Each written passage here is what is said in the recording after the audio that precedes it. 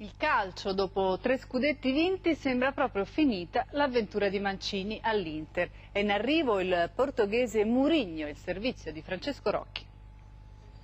20 minuti per sentirsi dire che è finita. Tanto è bastato a Massimo Moratti per comunicare a Roberto Mancini che la panchina dell'Inter non sarà più sua. Il Mancio, arrivato in via Serbelloni a Milano, residenza storica della famiglia Moratti, intorno alle 5 del pomeriggio, abbozza un sorriso alle telecamere, è convinto di poter rimanere. Ma bastano pochi minuti, sedersi di fronte a un Moratti deciso a cacciarlo, e il tecnico capisce di essere ormai un ex. Il presidente è duro, è inutile parlarsi, la decisione è presa.